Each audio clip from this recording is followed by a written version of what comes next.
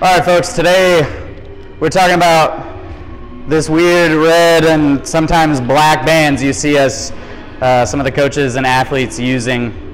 It's called Voodoo Floss, and it is a compression band. We use it to reduce inflammation in any joint um, or maybe on top of tissue that is overworked. So for instance, I'm flossing my shoulders and my hips all the time mostly as a preventative uh, measure, but sometimes as a therapeutic measure as well. The way this works is it helps reduce the inflammation by flushing out bad blood, restricting the blood flow, then you move it through range of motion, and then after you take it off, it flushes in a bunch of good nutritious blood and just the active compression helps reduce inflammation at the same time. So we're looking, we're looking at better range of motion through the joint. We use it on and better feeling joints better mobility. So the way this works is if you're going over top of a joint, say we're gonna hit Slater's elbow, we wanna start from the furthest point away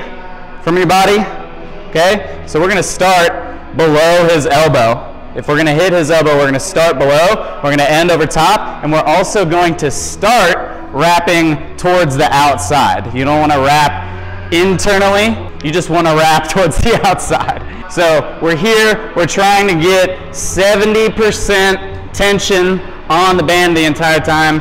And usually if you are doing this on somebody else, it helps if it's rolled up. Uh, if you're doing it on yourself, it's kind of easier if it's already unrolled. But again, 70% tension on the band, 70 to 90. And then as you are wrapping, you want to overlap 50%. So I'm not overlapping, I'm not hitting all in one spot.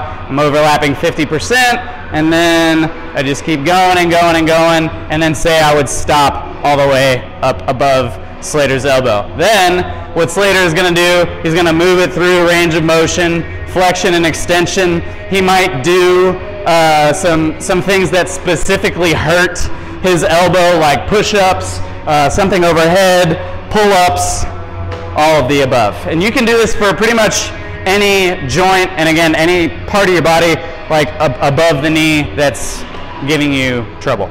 If you have questions about how to use these, any coach can help and um, definitely go to roguefitness.com. The red band offers the most compression and then the black is a little bit lighter. So uh, a couple coaches have these.